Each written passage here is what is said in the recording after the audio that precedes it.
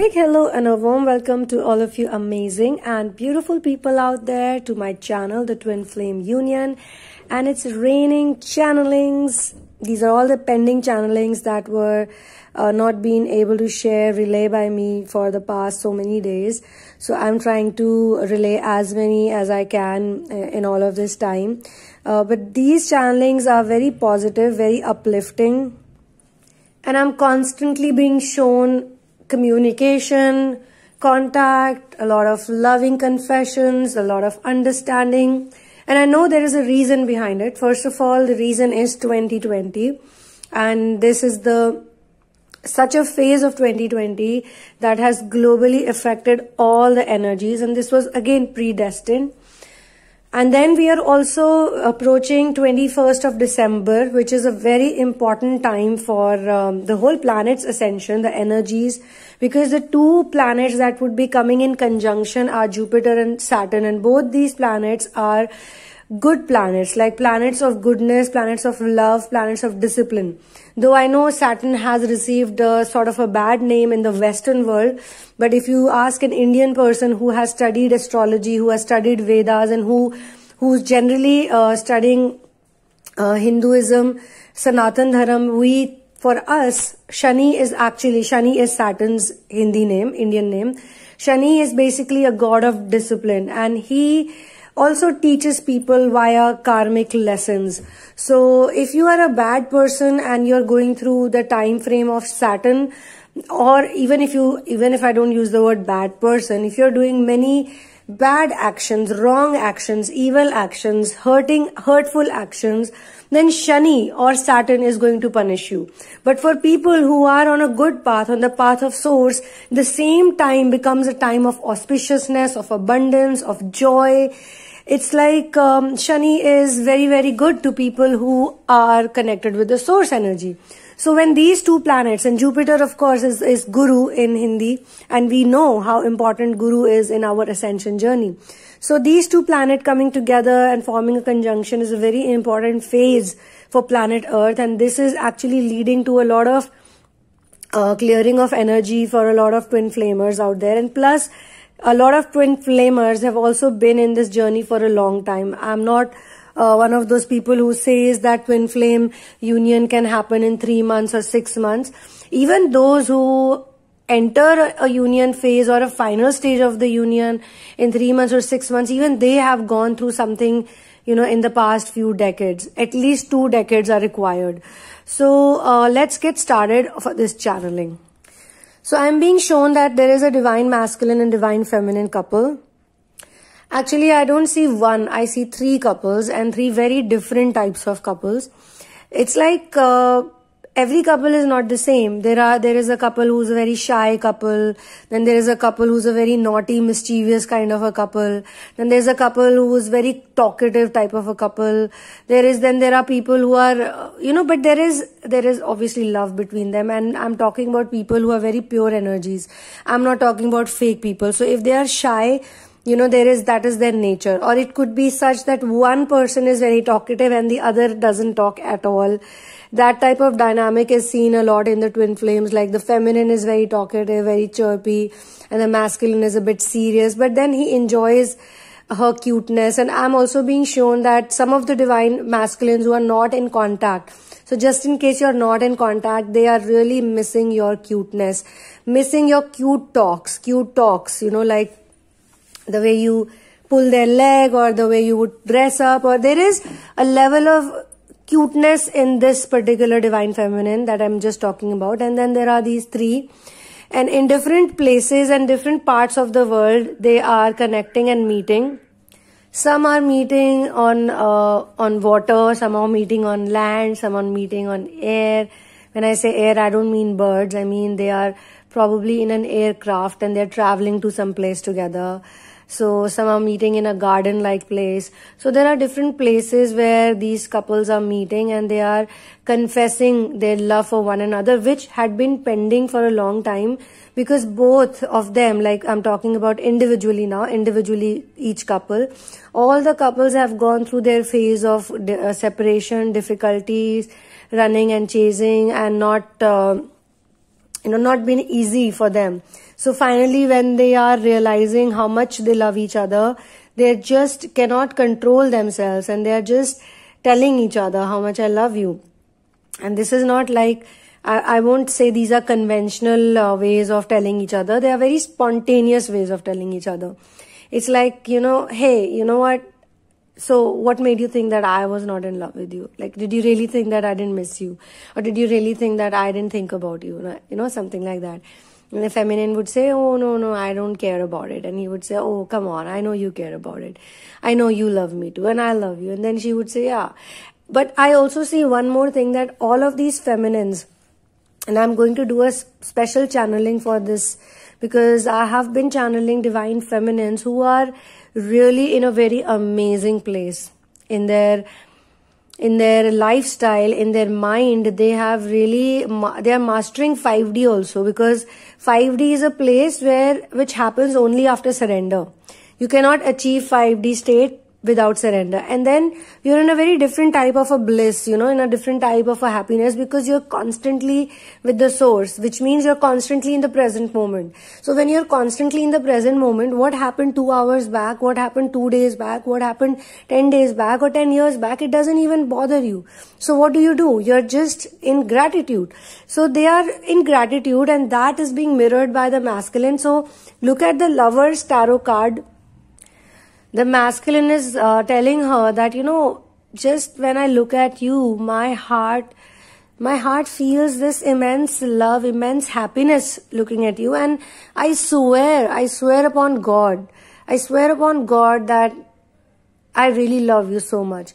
And i was talking about the tarot lovers card. Uh, in the tarot deck the lovers card is a very important card because you would see uh, that this card i've actually uh, received this card in some readings also.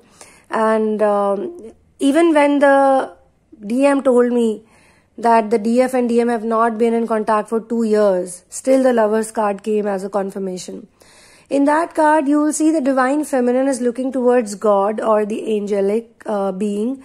Basically i think it's god the supreme being according to my reading my analysis but uh, it's an angel and she's completely towards the angel and uh, the masculine is looking at her and the angel is looking towards both of them. So this type of uh, dedication she has for the source and as i just said that source is only in the present moment. So the moment she's dedicated to the source that means she is present. So that is the only thing that brings the masculine close to her. When uh, when feminines are complaining and bickering constantly they are basically stuck in the past they are living in, with the ghost of the past. They are not in the present moment and thus they are separated from the divine masculine energy. Now here he is saying that, you know, I swear upon God, I swear upon any, the highest being, you know, I love you. So, and he's saying that I can do anything for you. I can give my life for you. I can give my life for you. I, I can, I can come back to life uh, even if I'm dead. I know this sounds very poetic and he's uh, being a bit romantic. But uh, as I said in the age gap uh, audio just now, when I made it, there are many divine masculines who genuinely start feeling that they are here on the planet only for her only to support her and there is no other basic purpose they have. They're just there to support her. So whatever good she's doing whatever uh, mission she is on whatever her focus is or wherever she's you know going to save the world i want to go with her. I want to be there for her. That is my only purpose. So that is the level of realization he has now uh, which which wasn't there obviously. And by the looks of it or by the feel of it it looks like they live in a place which could be close to a water body, it could be a beachy area, or it could be a lake, or they could just be living in a place where it rains a lot. But I do see water. This is, I think, also symbolic of telling the channeler that, you know, in different parts of the world where there are different uh, climatic conditions or different regions, people are uh, connecting and people are uh, getting into this kind of a vibration of one love. One love is all we need. So, yes. Now, when he when he makes this confession of love to her, he also sort of uh, anticipates that she will also say it. So, and she is just see when you're in the state of love uh, in your brain also a lot of chemical uh, chemical process i'll just explain it to you how it happens in a chemical way in your brain and then what is it spiritually meaning? You must have heard the chemical called oxytocin which is in the brain which is found in your inside your head. Oxytocin signals nitric oxide in our brain and the same nitric oxide then uh, creates or connects with another chemical called endothelial. And this is the same chemical that creates relaxation in your brain. And if you want to understand more about how love and chemicals work, then you can listen to Dr. Joe Dispenza's um, uh, talks I would say talks because he also sort of gives sermons and I really like him uh, because he talks about love and faith but he also talks about the scientific uh, understanding of it so he is basically one of those people who's who's a spiritualist but he also was earlier a scientist who was studying brains and from that he realized that there is something else happening even these chemicals are connected with love. And when I say love, I mean one love, real love, unconditional love. When endothelial derives the relaxing factor in your brain, and when you're relaxed, and you must have heard it in many uh, of my sessions also, where I say relax and chill and let go, it's because that causes the arteries in your heart and in your lungs to open up. You know, and now this is a scientific thing, okay, that I'm talking about.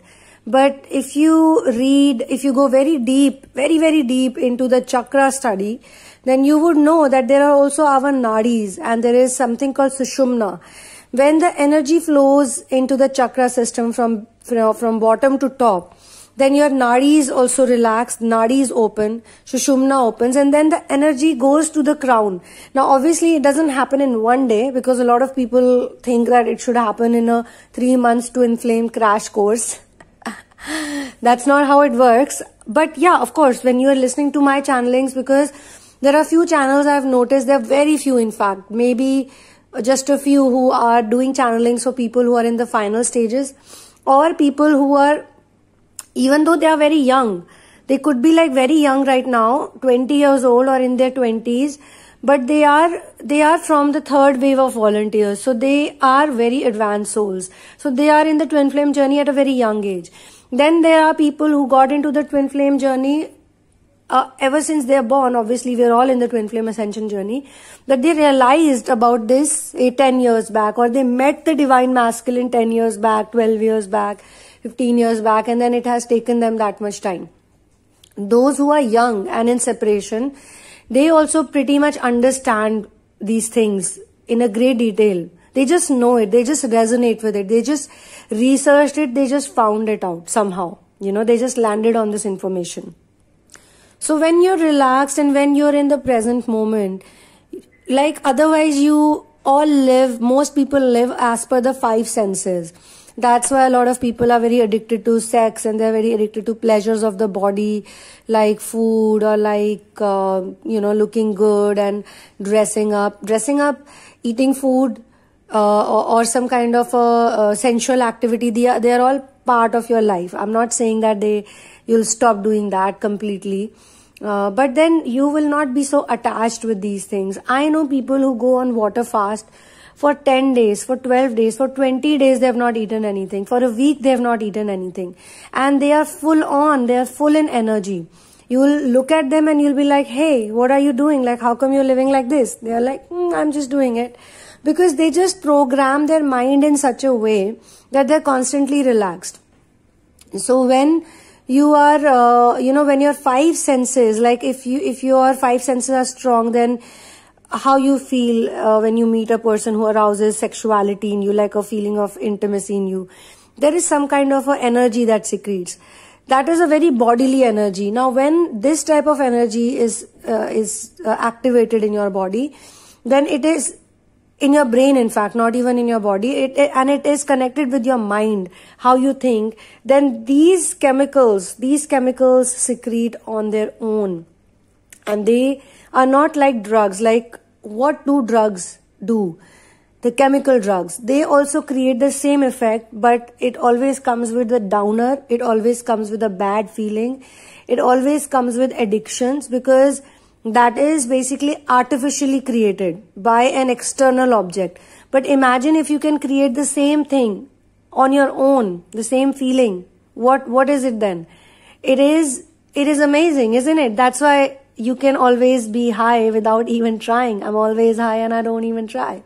I'm always high and i don't even try. So the feminines are basically the feminines that i'm channeling they are in that feeling they are in the zone they are so present that this feeling when you're so relaxed and when your brain is creating uh, these chemicals then you are in the state of unconditional love. And when you're in the state of unconditional love it is impossible to hold a grudge. Now how does this work? I'll tell you.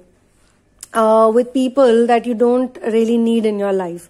So there are people who are not in your frequency okay but when you are practicing being in the present moment, now you could have any technique.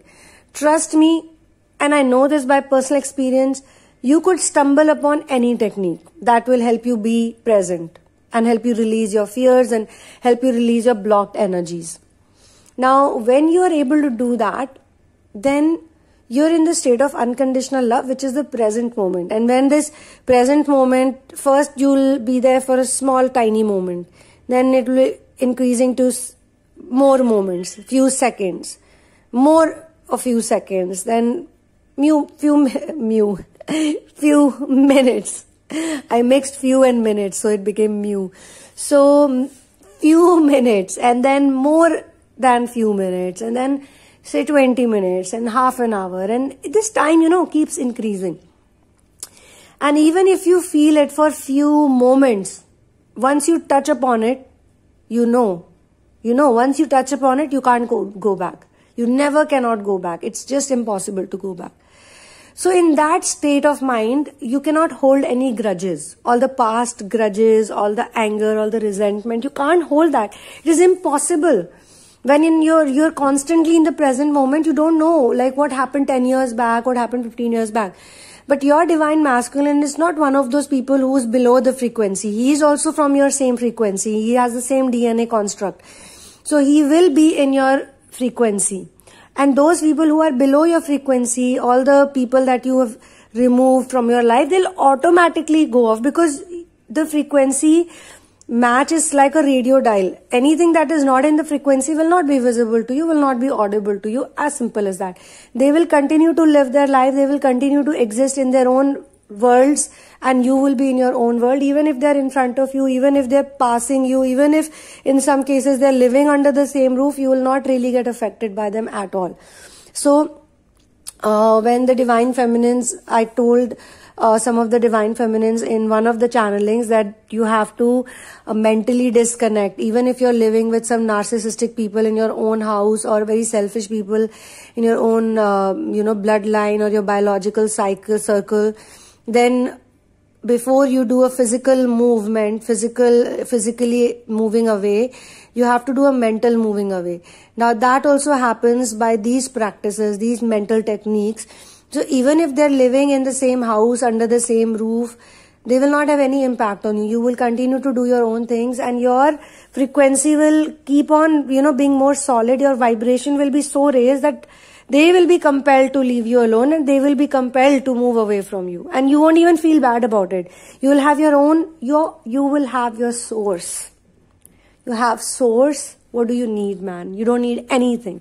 There's nothing in the planet that you will need ever if you have source and source will be do, doing everything for you. So this is the situation that she is in. And while being in that, when he says, do you love me? I love you. She says, yeah, I love you. She's in the state of love, right? Love is everywhere. And I'm not saying it to demean the masculines or demean or condescend their love. It's not like she's saying it in an arrogant way. She feels the love She doesn't feel the anger or she doesn't feel anything. And if by chance, by anything, she gets angry or upset, she knows very well how to express it. Earlier, she could not express it. Let me tell you, this whole chaser runner dynamic, how this works. These are all very in depth things, by the way. If you understand it just by listening to it, then also you will gain a lot. A chaser is only a chaser when they have blocked energies. So, for example, the masculine does few, two, three mean things. Chaser cannot say anything because they have the fear that they will lose that person. So, they continue to please them. By doing that, they keep on piling up the energies that are otherwise supposed to be vented out. They don't vent it out on the right time, they keep taking it. And then one fine day, they do a volcanic eruption. And the masculine goes crazy, like, oh my god, he gets scared, he gets freaked out. And then she says, you know, this has been uh, piling on my my chest for like so many days. I've been carrying it like a baggage for two months, three months, six months. I can't take it anymore. So when that volcanic eruption happens, he feels very sorry, but she is not trained mentally to sustain it. So she starts getting scared. Oh my God, I should not have said it. I should not have reacted like this or I should not have responded like this. Later on, you'll understand that reaction is not even needed. You don't need to do anything. As I said, when, once you have the source, you don't need to do anything. So nevertheless, she have this fullness in her heart. She has this she's no longer scared to be intense like how she used to be very guilty for being emotional for being uh, intense for having a cause having a mission or having an emotion for say a hungry child or a animal. She doesn't care now. She's like yeah even if he is not there because she's learned to live alone.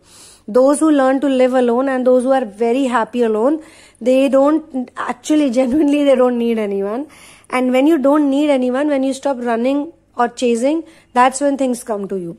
So, that intensity and that fullness in her heart, in her soul, that is the thing that attracted him in the first place. And now, when she brings it back, earlier she was doing it unknowingly, now she's now she's aware that I have to be like this and I I will be like this. Nothing can stop me, no one can stop me from being who I am. So being in that state of mind, you know, where oxytocin is releasing on its own, it's it's like you have a in in Urdu there's a word called surur. If there are there are any Indian or people from Indian subcontinent who know Urdu or Hindi would know khumari, surur, nasha. Nasha is like uh, intoxication. But it is not that type of intoxication. It's the intoxication that shiva feels you know? That's why shiva is uh, connected with cannabis and he's connected with dhatura. These are all plants uh, you know that are very intoxicating. But they don't have a bad intoxication. They have very mild very relaxing very soothing uh, very fuzzy feeling you know? So that's why he's connected with those plants so when the oxytocin is released, when you're in the present moment, you're always relaxed, then it is impossible. It is impossible to be upset for things. It is impossible to be angry, uselessly angry. It's impossible to hold a past grudge. So that is why, you know, you forgive people who probably someone molested you when you were a child. And you've carried it for like 12 years, 13 years, and because of which your sacral chakra is blocked. Or maybe 20 years you know you were in relationships where were, which were sexually very abusive basically repeating the same energy. You're carrying that energy. You know now you don't want to carry that energy anymore. You're done carrying that energy. So automatically the sacral chakra starts opening up and the energy starts flowing. So you are you are going to experience these things. If you are not experiencing you will experience. But for that even you have to make some effort. When you think about your divine masculine when you have all these angry thoughts blame game bickering, uh, this, that. Just try to come back to present moment. Find something to do that you love. That's why when you do something you love, it's very easy to come to the present moment. You know? So I will continue this channeling session in part 2 and part 3 also because I have three uh, DMs and DFs and I know there are many connected to this energy and uh, I'm very fortunate to be actually channeling these messages because when I channel these messages uh, the universe sends that energy to me and I feel that energy and then I you know have those moments of uh, pure bliss and ecstasy uh, without taking any intoxication. Like 2 days back I remember I was like I was walking on clouds. I was walking over the moon and I don't even know why. And yesterday I was not feeling well. So i was like why am i not feeling well? And then i realized that i was i was actually affected by uh, somebody who i have i am still healing uh, a very uh, you know deep uh, deep trauma deep abuse. It has taken me about uh, already 20 years of healing. So and it is also like pretty much released. You can say only 5 10% is left 15% maybe 10 and every day i work on it like every day i wake up in the morning i wake i wake up and i do the healings so that energy which was and sometimes energies come and go so i had assumed that that energy is completely healed but something happened in my life that I felt that there was that energy. So I was not feeling well. But two days back, I was feeling, um, uh, you know, completely high, constantly high for 24 hours, I would say. And today, again, I'm in that zone because I realized I could pinpoint, oh, so that is the feeling that is making me feel like this.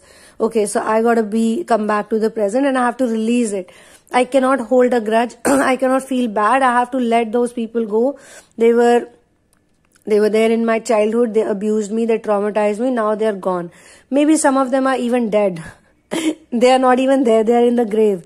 But you know how those people who are dead, when they haunt you, it's basically, they say that you are looking at ghosts or you're looking at these um, souls, departed souls, not even departed. Uh, these are um, souls you know that did a lot of bad things to people. So when you see when it's almost like that i would say you know it's almost like that. You're thinking about the same person constantly who tortured you when you were a child and now after 20 years 30 years 40 years you're still thinking about something that did to you and feeling so bad about it and it's having an impact on your relationships or you're attracting people with similar, you know, very uh, mischievous. Mischief is a, still a good word, I would say, very problematic energy, uh, very selfish people. So be very aware and uh, listen to these channelings because these channelings always come when an energy download is given to me. So my just my job is to spread it around the same download so that more people can download it. So one love and peace out and I'll see you soon.